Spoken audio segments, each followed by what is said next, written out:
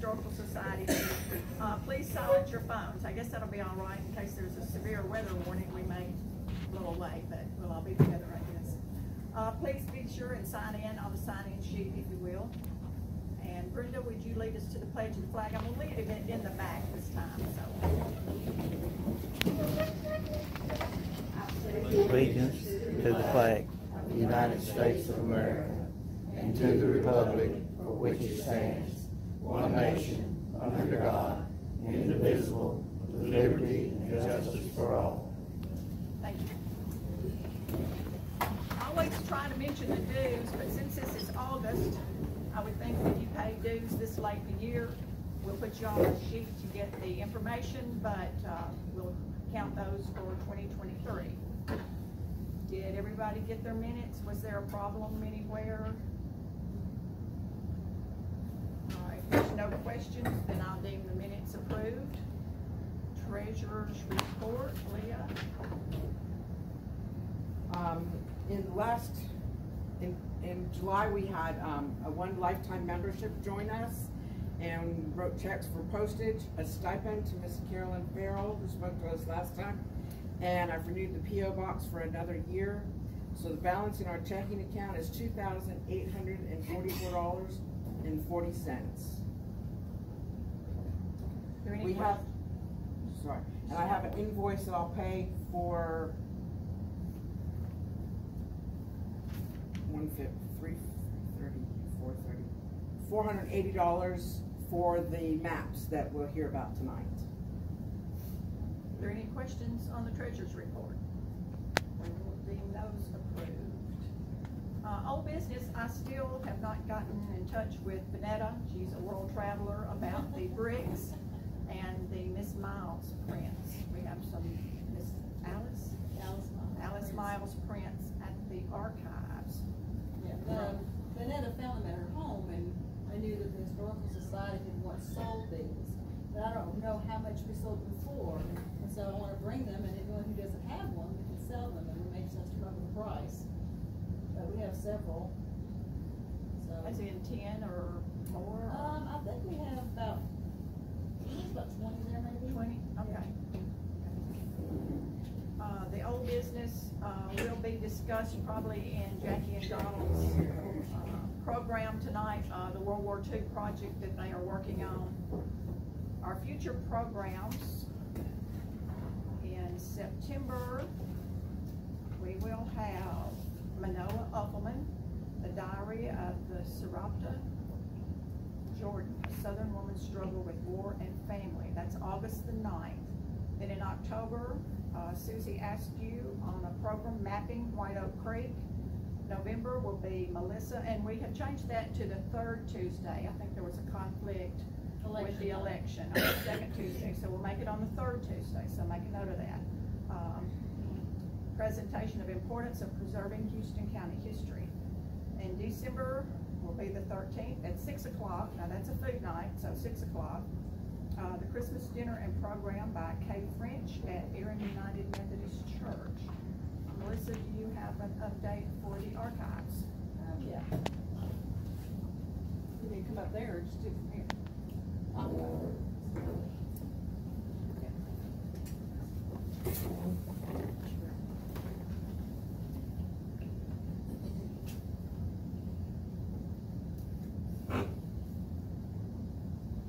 We don't have a whole lot to update, um, um, with our new sign, it says Archives and Museum, now we're getting more visitors, which is great, they see our sign, and they say, oh, I didn't know we had a museum.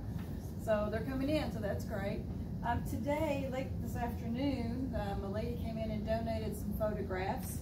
Uh, majority of them are actually photographs of the Culver Shoe Factory's picnics, employee picnics that they used to have from the nineteen, like 56, 57 timeframe.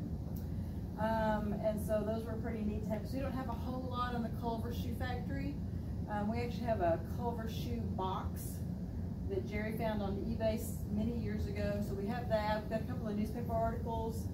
Um, but as we know, the place burned, so anybody that's got anything on any of the businesses here locally, um, we would love to have uh, either a copy of it, or if you wanna donate what you have, that's great, so we're trying to document all the businesses in our communities from the beginning until now. I still continue to research the Houston College. Um, I'm still stuck on what happened to the college. Seems like that would be very easy to find, but between nineteen oh six and nineteen eleven, the college disappears. Uh, in nineteen eleven is when, um, Mr. Hobbs builds the house that we call the Roby House. Mr. Hobbs is the one who built the house in nineteen eleven. Um, I can find lots of newspaper articles about school there. They would have teacher institutes there. Teachers from all over the state would come here and stay here and go to teacher institutes. So I'm still researching the college. So if you have any information on the Houston College, please let me know. And that's all I got. Thank you. Right, we got all that out of the way. Now, our program, They Pass This Way, Cemeteries in Houston County, Jackie and Donald Baker.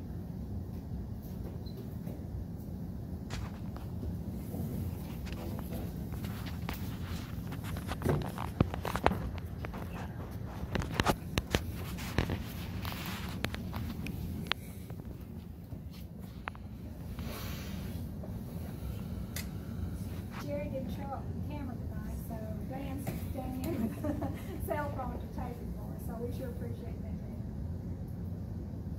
Ready? Um, Thanks for having us. Um, We appreciate the opportunity to uh, be able to tell you about the cemetery project that we've been working on since two thousand and nineteen. And I'm sure many of you were thinking that, uh, couldn't you find somebody, something else to talk about except dead people?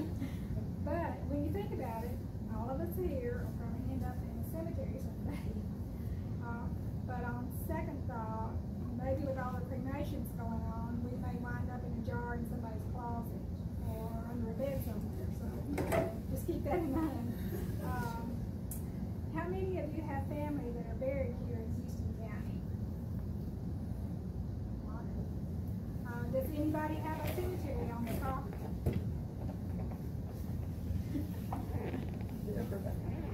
Uh, as you're well aware, a lot of our history is recorded in our cemetery records. And that's why the Houston County Historical Society has produced two cemetery books that recorded all of the known marked graves in Houston County. The first was published in nineteen eighty-eight, and the second was published in two thousand and three. Uh, they identified hundred and twenty-one cemeteries in nineteen eighty-eight and hundred and ninety-two cemeteries in two thousand and three that are in Houston County. Uh, they did a remarkable job on a monumental task. And in two thousand nineteen, our current president, Deborah Stanfield, felt like it was time to update those cemetery information because it's been almost twenty years. She's always had an interest in genealogy and she knows how important this information is to folks that are trying to find their ancestors. Uh, she used to accompany her aunt in search of information on her extended family the cemeteries. And I'm sure that's where she learned to put flower on a illegible tombstone so that you could read the names and the dates. But she warned us always use plain flour and never self-rising. And I always take a brush with you and brush the flour away when you finish. Um, she also learned that recording local history, it's very important to have local folks with knowledge of the area involved. If you don't, a lot of misinformation can be reported as fact. So with this in mind, since Deborah was born and raised on Yellow Creek, she has an extended uh, network of family and friends that she could call on to help her first person she asked is Greg Reynolds, her fiance. Of course, Greg was born at the Ridge. And then she asked Donald Bateman, who was uh, born and raised a couple of miles north here of Erin. And me, I was just an note um,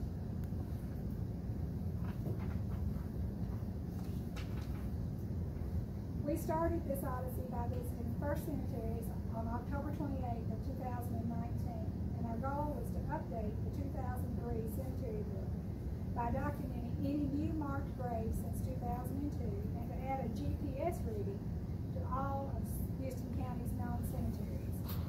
GPS stands for Global Positioning System, and it merely marks a location with a latitude and a longitude.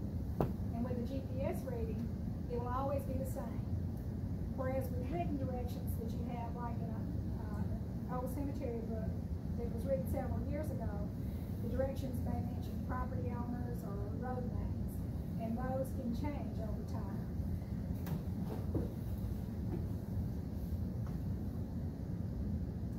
Uh, this is an example here from the two thousand three book where in the Allen Cemetery, you'll notice that the Thomas Baggett house is mentioned. Well, Mr. Thomas Baggett is deceased, and who knows where his house was? So that's a problem. Uh, in the Brown Two Cemetery, the Toon Cemetery Road is mentioned. Well, Toon Cemetery Road is now called Montana Lane. So you can see, see the problems and why we were looking for the GPS. When we first started, uh, we'd all pile into Greg's pickup truck, four of us, and, uh, he would serve as a tour was always had entertaining stories to tell, and my favorite was about the time he invited a young lady to go with him on a dinner cruise. Well, then he took her down to the lake, went by the bait shop, grabbed a sandwich, and took, went across on the ferry. so, I thought that was hilarious. um, and if he ever decides to come out of retirement, he'd make a heck of a tour guide. and after we hit a few cemeteries, we generally wind, wind up at the uh, Ridge Restaurant and have lunch. So we were just having a big old time. It was a lot of fun because we saw what a beautiful county we all call home. Oftentimes, the historic county cemeteries are in the most picturesque locations, like this one at Cane Creek and the Thomas C. Hall Cemetery. There were scenic views from the lake and from the top of hills. That's the Keel Cemetery and the Pollard Cemetery. And all of the historic cemeteries had beautiful old trees, like this one at the Henson Stanfield Cemetery and the Nichols One Cemetery. Uh, cedar trees were the most common. And if you're trying to find an old cemetery and it's all grown up, if you'll look for the largest cedar tree around, normally you'll find the uh, cemetery somewhere close by. And wouldn't you like to know how old this old cedar tree is? This one is the New Patterson Cemetery. I thought it was just beautiful. Um, and this is an old beech tree at the Weaver Nichols Cemetery. That one's gotta be really old too. Of course, that's not a tree. Um, the earliest recorded death dates in our Houston County Cemetery records is for James Dixon. He was born seventeen sixty-eight and died in eighteen fifteen. And he is at the A.B. Skelton Cemetery off Ellis Mills Road. But his grave is unmarked, but we have that information in our records. So I contacted Vanetta James to see if he was connected to her line of Dixons. And she said that her late husband Russ might have furnished that information because he did extensive research on her Dixon line. But this James Dixon was not a direct descendant of hers. She thought he might be a brother of Hugh Dixon that's in her line that bought land here in eighteen oh three. And as far as we can tell from our records, this, with this death date of eighteen twenty, for Elizabeth Gorin, who died in eighteen twenty, uh, it's at the Pollard Cemetery, it appears to be the oldest original grave marker in Houston County that we have. We have some that have, uh, been redone, but this one appears to be an original. Well, COVID finally hit in March of twenty twenty, and after it hit, we kind of split up to catalog the rest of the cemeteries. And I would take a peanut butter sandwich, a little baby cake, and a diet coke, and go visit cemeteries. and uh, we used the 2003 cemetery book to locate the previously recorded cemeteries that we lacked. We were so grateful to Joe Meacham and his wife Joanne for the meticulous work in organizing and recording the mountain of data that they collected by volunteers. They did a fantastic job on the 2003 cemetery book, as a matter of fact, we have continued to years use their system of identifying cemeteries so that it can be easily referred back to by our information. And they also recorded so much more than just births and date, uh, births and date deaths, death dates. Uh, it's an excellent reference for anyone interested in family history. And they also included cemeteries from bordering counties that we don't have. So it's a really good reference. We also used Find a Grave. I don't know, has, have any of you ever done Find a Grave? Um, we used it as a resource for the newly marked graves uh, since 2002. We print off a copy of what they had on their website and go to the visit the cemetery because it was easier to check it off than it was to write everything down. So if you already had it uh, printed out, you could just check it off. Uh, but it was helpful in a lot of ways, but we found a lot of errors. So let me caution you, if you are using Find a Grave, look at it with a critical eye because some of the information may not be correct. One of the problems that we found is they placed someone in the wrong Moore Cemetery. Instead of the Moore Cemetery number two at Tennessee Ridge, they had him at Moore number one out in the Yellow Creek area. And that was fairly common as far as um, putting in new deaths into Find a Grave because you have a lot of times people who are the administrators who will have like ten thousand accounts or whatever. And so they have no local knowledge of what is reasonable. So just look at it with critical eye. And that one thing that you can look at on Find a Grave, if there's not a picture of a tombstone, that's a red flag. Because they may not have the actual information, what they may be drawing from is an obit. It says Moore Cemetery, so they just pick a Moore Cemetery. So it's, it's, uh, just be cautious. But it would be very, very easy to make a mistake if you weren't local and didn't have local knowledge. Now, we like several cemeteries, we like the GPS on these. Um, We've made every effort to contact the property owners where the cemeteries were located. Tennessee cemetery laws state a landowner must allow family members access to the cemetery where their families buried. And since we were not family members in most cases, we tried to contact the property owners with a phone call or a letter. Sometimes we couldn't get in touch with the owner, sometimes we would send a letter, we know they got it, but they just chose not to answer. So if you have any knowledge or any inside information as far as contacting any of these uh, property owners that have these cemeteries, please let us know so we can get the GPS for you and we can always add it to our information. Now, we were down to these few cemeteries, and Donald was making the argument that it's time to stop. this could go on forever, you know, adding to a cemetery never ends. so, uh, he was saying that, you know, we only like these few, and as far as the entire number of graves that we found, this is just a small percentage. But Deborah, on the other hand, had a, had a different view. She wanted to keep going until she had an encounter with a snake uh, on her way to visit the White Cemetery. And uh, I think that kind of convinced her that it was time to this is a very large copperhead, and this is Mr. Darrell Rye, who is holding it. And any of you people that know guy. He's about six four, I guess. So um, this snake was pretty disturbed about being uh, run up, and uh, so. But I think uh, Greg and Darrell took care of him.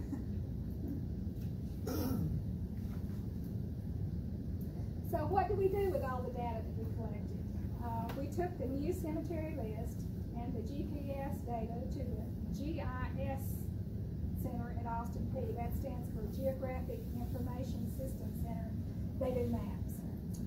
Uh, Mr. Mike Wilson took our data and printed a Houston County map with all of the cemeteries on it.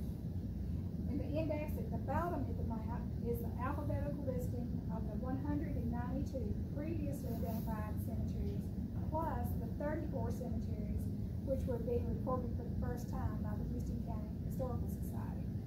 That makes for a total of 226 cemeteries that have been, have been identified in Houston.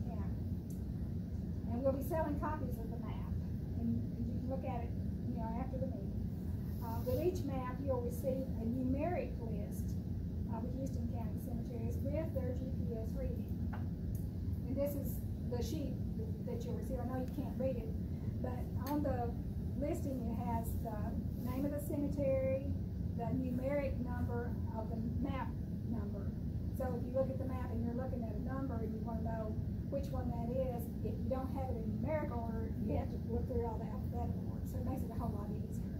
It also has the date that it was visited, and the latitude and longitude, and whether it's a private cemetery or not.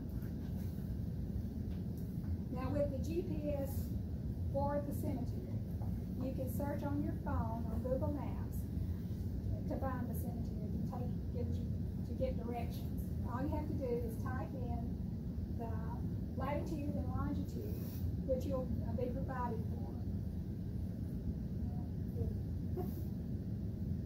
And this is the latitude and this is the longitude for McMillan Cemetery.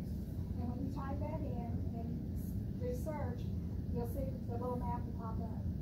And this is, this shows you on your phone what you're gonna see, and it'll tell you how far away it is and how many miles from your current location, so it makes it really handy.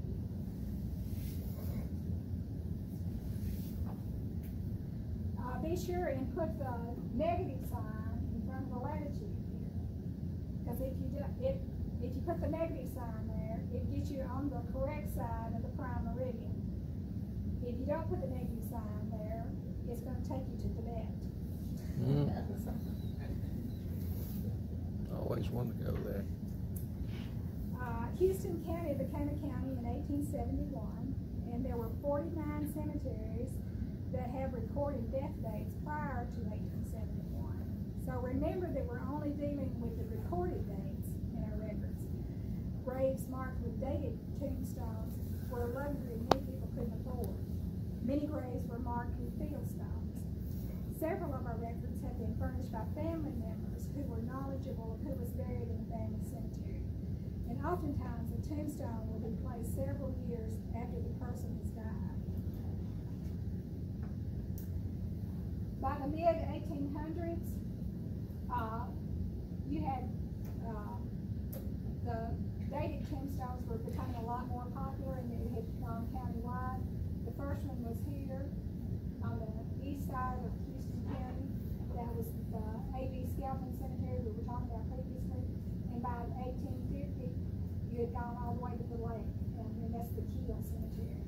And, uh, you can see the color-coded stars and the different dates there, but you can see all over the county down. But still, at that time, most of the uh, tombstones were still field stones. So where did they get the tombstones? Some were done by less skilled craftsmen, like this one at the Walker Cemetery, and some are really fancy, like this one at Ellis, Ellis Haskell.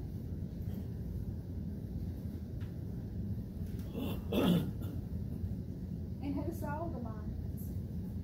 Well, we're not sure, but newspapers carried advertisements for people selling monuments. Uh, this one from Clarksville Marble Works, which was established in eighteen fifty-two, they sold really fancy ones. And T.H. Bateman in Camden also sold monuments, and his, he was in business from the late eighteen hundreds to the early nineteen hundreds. Montgomery Wards and Sears, who were the Amazon of the day, also sold tombstones. This was, uh, the Montgomery Ward's catalog, if you'll notice on the, this is the first page, and then the easy payment plan is on the back page. And you got your monuments on the train. And this is a page of, uh, from the catalog that shows typical monuments for sale. And, uh, also in the back of the book, you had suggestions for setting your own monument after you came in on the train. It Told you how to set it in the cemetery, so it wouldn't fall over. Now, these particular tombstones were taken at the Lockhart Cemetery. Uh, it's the cemetery in behind Farm Bureau up on the hill, behind, over by the elementary school.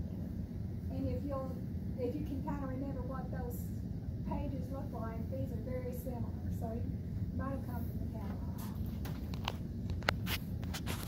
They also sold the cemetery fencing, it was very popular at the time. And here's an example of some fencing at the Hansel Cemetery. And there's some more fencing at the Collier Cemetery. We might show you some of the interesting gravestones that, that we saw when we were doing our tour of Houston County. And this one, particular one is Jack Hanson, and it's down at the Cane Creek Cemetery. Um, he's one of the most famous people that's lived here in Houston County, but his final resting place is in dispute. Most people think that this gravestone is a memorial marker because his son is buried there. There's credible evidence that he was probably buried in the Boyd Cemetery in Stewart County. This one is Woodman of the World, and it's at Sunset, or some people call it Stewart Cemetery. And this was for James Sloan, 1845, 1905. And this particular, uh, ce- uh, tombstone was at the Cane Creek Cemetery, and it was the stone covered with the slabs of rock.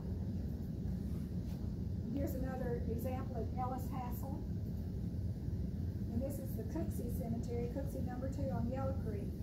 And it's also covered with a stone slab. It's a large slab stone.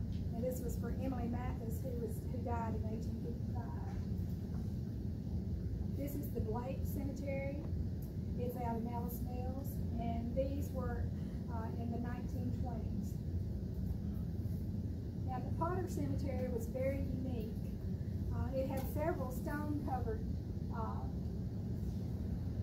graves right here.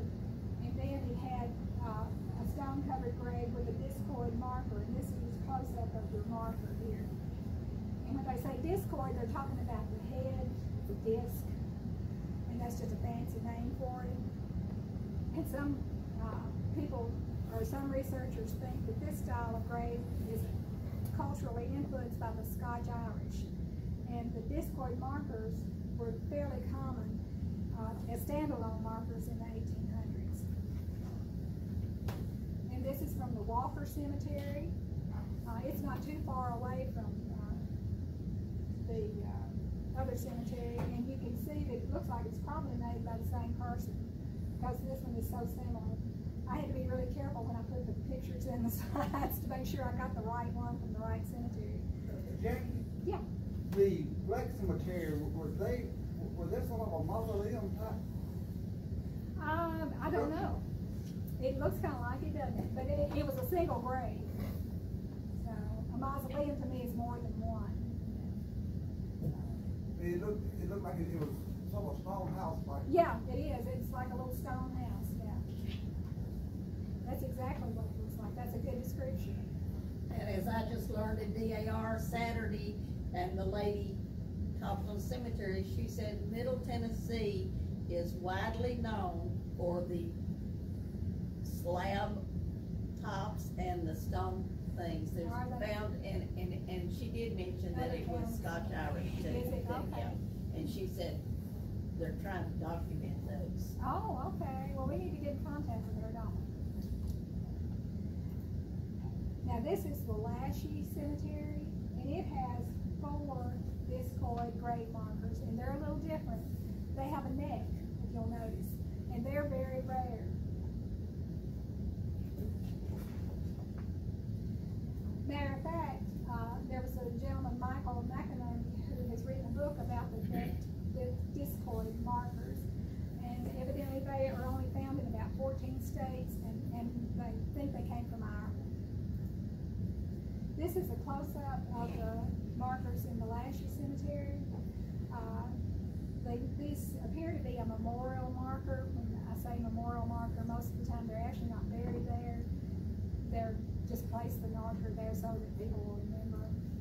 And, uh, they were erected in the eighteen forties. And this style of marker fell from favor after the Civil War, according to this source. This is the Kathy Moore Cemetery. It's one of the cemeteries that was relocated by TVA, and portions of the cemetery remain visible when the water's low. Here, you can see some graves that were left in place at the request of the family, and this area is flooded when the water is high.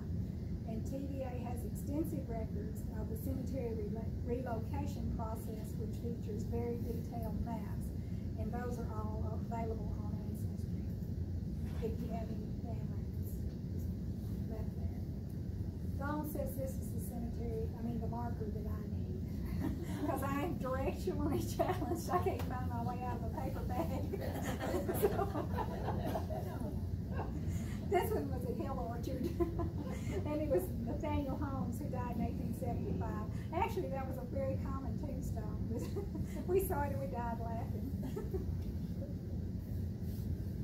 Okay, oftentimes in genealogical research, you'll find the name of a cemetery obit, deed, or a death certificate that you're not familiar with. And over time, some cemetery names are changed. And this obit says Coleman Clark was buried at Blair Cemetery. Blair is now called Cedar Hill. And in this obit from nineteen twenty-eight, they say Joe Bateman is buried at Hobbs Cemetery. Wonder if he's kin to the Hobbs that Melissa was talking about. Cemetery is Lockhart number one, that's the, little cemetery behind the Binding Road. Now, because that presents a problem when you find all these, uh, names that you're not familiar with in old deeds or records of any sort, we have compiled a list of the odd names of cemeteries that we found, and we will include that with the map, uh, if you buy a map. And it's got the cemeteries with other names, and I think there's about thirty-five. Uh, it saves you a lot of time. Now, we have over a thousand veterans buried in Houston County, and the Historical Society has always tried to acknowledge our veterans in our records. And we're very fortunate here in Houston County to have several people who are working diligently to identify and preserve the legacy of our veterans. Our own Leah Baggett, Susan Gould, and Sandra Baggett are at the forefront of documenting the service of our veterans, and they're doing a fantastic job. And the Historical Society is on a, about to start a, a new project, you've heard us talk about it several times. But we're really gonna get down to the nitty gritty now, and, uh, we're gonna do a program that's gonna feature our World War II veterans. And we need your help in collecting the information on every veteran who served, who has a connection to Houston County. And I'm gonna turn so he can give you the details.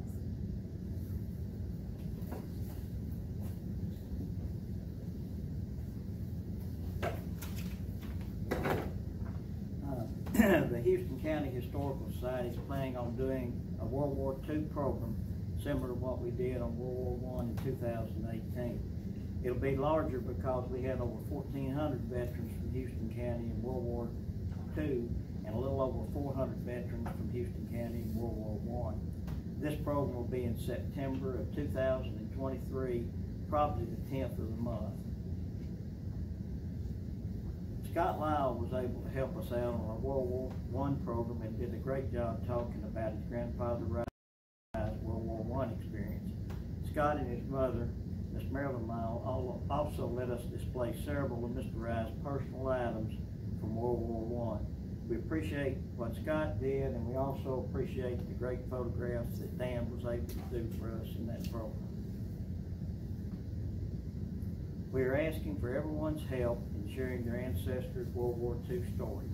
We'd love to have copies or scans of pictures, documents, and stories that they've heard from their ancestors. Also, we will display the day of the program any memorabilia like Mr. Rice that is shared with us. There are many great stories from World War II that people have already shared with us.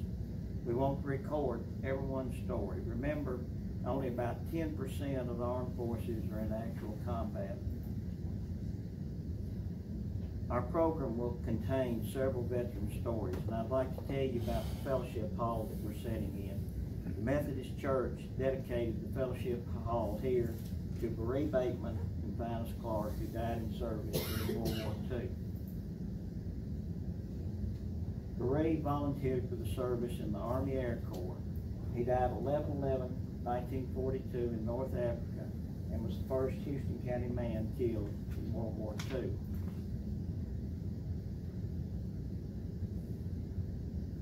Evidently, Berea always had a love of airplanes. This is a picture of airplane he grew at his grandfather's barn as a boy out there on Bateman's Ranch.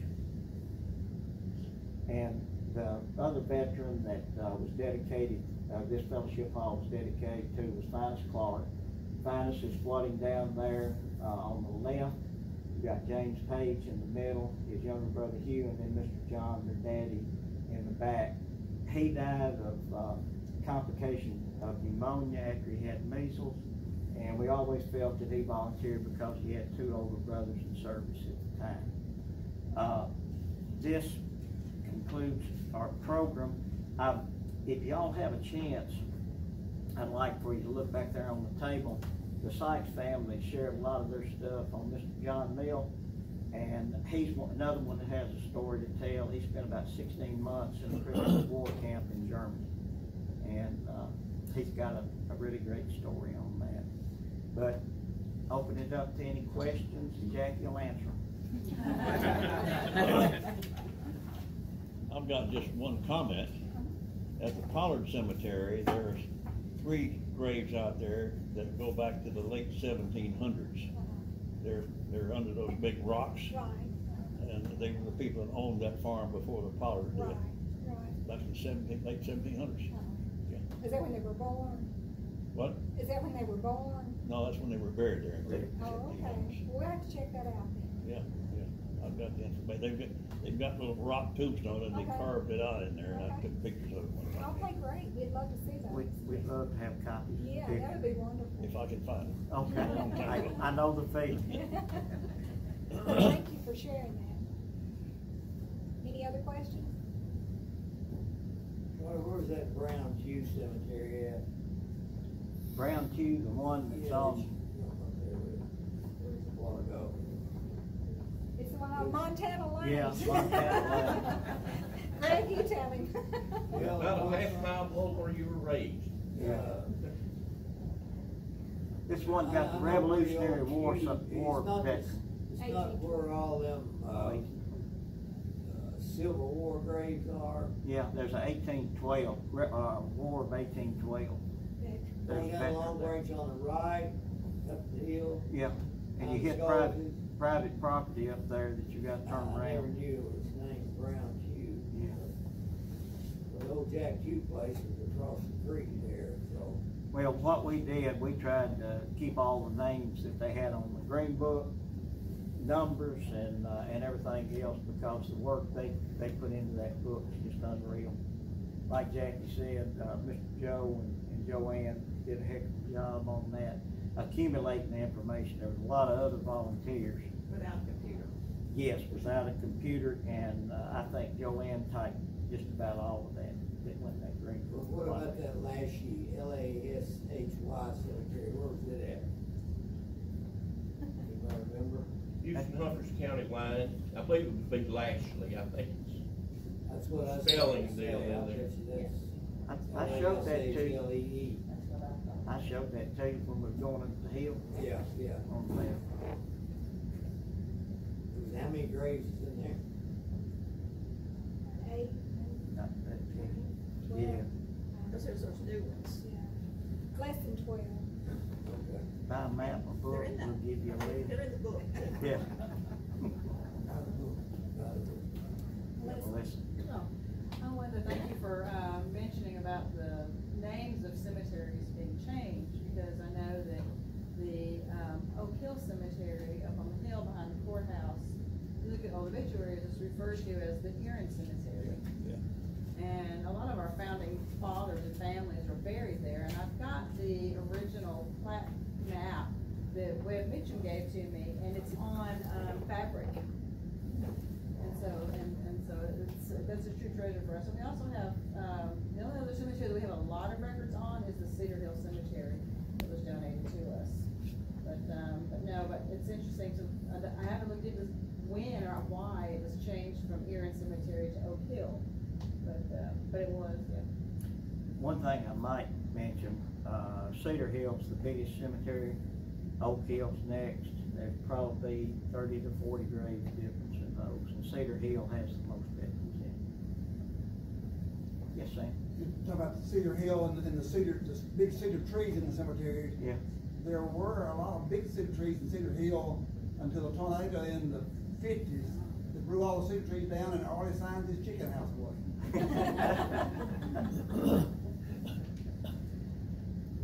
when you were doing this, were you documenting only the cemeteries, or did you do any documentation of who was buried in the cemeteries? Oh, no, we have, we have people, there's over ten thousand people buried in Houston County in these cemeteries.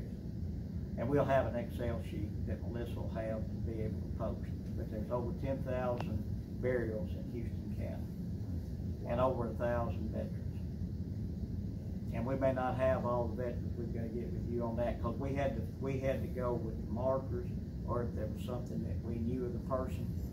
So we may have missed some if they didn't have a marker, we didn't have any personal knowledge of that on it, but, uh, Yeah, What, what cemetery has the most graves? Uh, Cedar Hill, Cedar Hill? Cedar Hill, How and then Oak Hill is right behind, How many is that? oh, what was it, Jackie? Nearly fourteen hundred, I Is it really? think, fourteen, thirteen hundred That's a bunch, yeah. in that, uh, in that vicinity. Yeah. Um, And like I said, that could change, you know, in a year or two on that. In fact, as I understand it, Cedar Hill is closed to new, unless you own a plot. I can't remember who told me, you can't be buried, Cedar Hill is closed to new, there's no, no other room left. It's full. And one Somebody thing said I People might. may own those plots, they're not selling, it, I, somebody told me this, I can't remember it now, just recently, that it's that full. They, they opened a new section away Yeah. from where the entrance did at Grand. Right. I think there's some of the Hankins is I very- don't think that's been marked off or anything. Oh, okay, okay. Yeah, all the old, yeah. And you would be surprised too, they're talking about the large cemeteries, how many cemeteries and what qualifies as cemetery a graveyard. You'll be driving down the road and there'll be a tombstone. How many graves, how many cemeteries have one grave and one tombstone? And then Greg was saying, you know, why don't you go to some of these cemeteries that you can't find? Just, just go, you know, take the book and, and go. Well, if the owner doesn't know where the cemetery is, And I'm sure not gonna find it without him. So, you know, we rely on the owner of the property, and they may or may not know they have a cemetery on their property. And when you look at the map, there's, I call it holes in the, in the area on the western side of the map. I guess that's, uh, Westvaco land now, but it's Rocky Top or whatever, so we don't think there'll be cemeteries there. But you can see where, uh, the roads, uh, the roads are named on those in most cases. And you can see where the cemeteries and the families live. But then you'll also see areas that don't have any roads, as far as we know, no cemeteries. But if you know of a cemetery, on my list of twelve or fifteen, uh, we'll add those in. We'll go around Donald and add those. Well, and, and please look at everything, cause we know we've got mistakes and we try and correct anything that's not. And in our DAR workshop Saturday, it was brought up, yes, we really need to be preserving these information. But what are we gonna do about all the cremations that are coming up now? That's when the next generation start looking for their ancestors, they might not find them. Oh, right. I'll throw out one other interesting fact, of in, we had like fourteen hundred World War II veterans. I think in nineteen forty, there was about sixty-four hundred people in Houston County. Of course, the ones that were drafted, you know, spanned probably ten to twelve years or something like that, but I thought that was a large percentage for Houston County to have on that. And I would encourage you, if you have a cemetery on your property, apparently I was the only one in the room that has a cemetery on their property. If you have a cemetery on your try to get it cleaned up. Um, Cause of the snakes for one thing. And the access, and, uh, just for future generations as well.